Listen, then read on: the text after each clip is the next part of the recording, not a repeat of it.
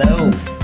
It's me, Michael Bach, your diversity dude, and it's time for the first episode of Monday Morning Musings of 2018. Yay! Happy New Year, bonne année! Um, it's Monday, January the 8th. Uh, it's our first day back. So many things. So excited. Had a great break. I hope you did too.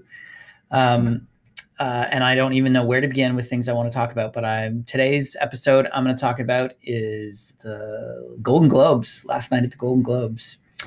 Um, now, many people, my hair is awful today. Sorry, it's snowing so badly here in Toronto, and I had to wear a hat, and it just, like, just, it's looking very. Anyway, um, uh, if you didn't watch the Golden Globes, I don't normally watch award ceremonies. I find them to just be Hollywood kind of self gratifying themselves in front of the world, and I don't really care. So I don't usually watch. But this one was uh, very much a protest. It was very much all about the Me Too movement. Everyone wore black or most people wore black. And if you didn't wear black, you stood out like a sore thumb. Um, most of the speeches, at least all of the women, um, stood up and and really uh, talked about the women in their lives and supporting women. Um, uh, you know, Natalie Portman, in introducing the best director, said, "And here are your all male best director nominees." Um, so th- this was a gloves off. It's time to make change. Um, Oprah, if you didn't watch Oprah's speech, Google it. Watch it on the interweb.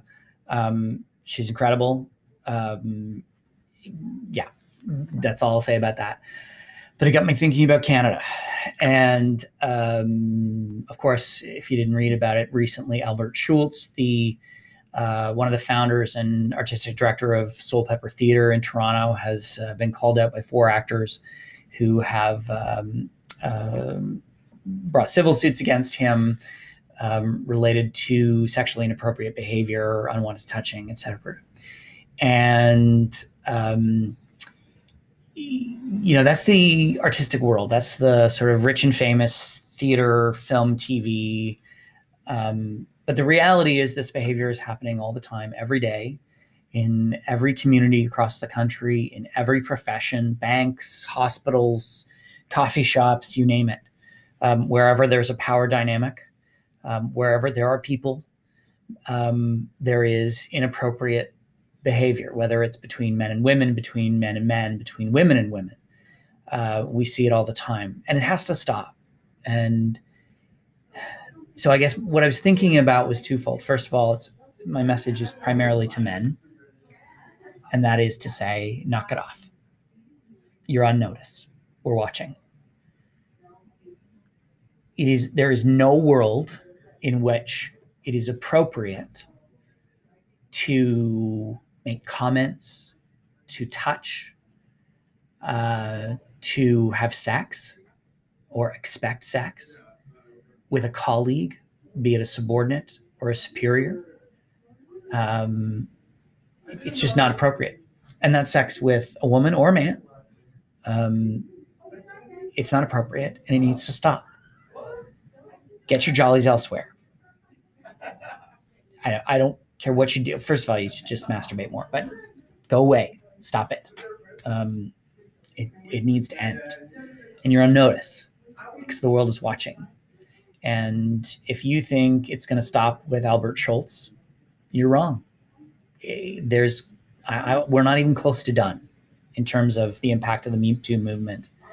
Um, and also the Time's Up uh, initiative in the United States with um, the Legal Defense Fund for women uh, who are victims of uh, sexual violence. Um, and the other is to the HR departments of the world and say, come on, this is enough everyone claims to have a zero tolerance policy, but then you hear about HR people who are advising um, the victims who come forward and saying, well, you know, boys will be boys, or you shouldn't have worn such a short skirt. Victim blaming is done. It's 2018, it's done. We did that last year, we don't do it anymore. You have to have a policy, you have to have a procedure that takes these things very seriously and responds accordingly. I don't care how big a biller the person is, or how much they bring into the organization, or how long they've been there.